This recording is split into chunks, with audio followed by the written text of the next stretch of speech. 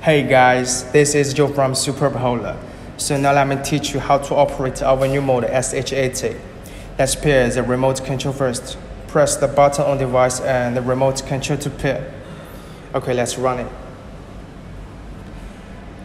Then let's see the laptop.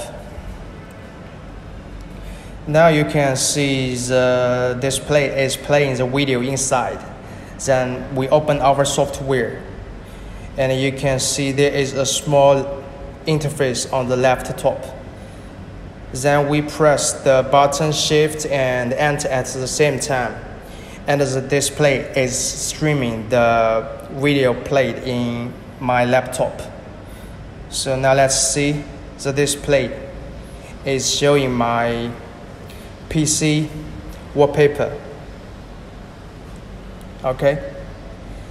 So now uh, the display will stream whatever you played in your laptop, videos, pics, whatever.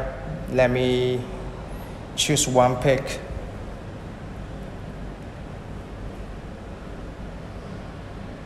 Okay, this one. You can see there is real time, no delay.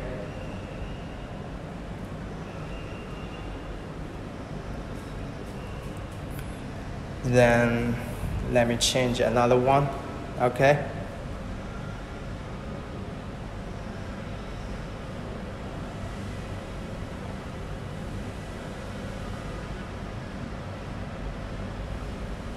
Change another one okay?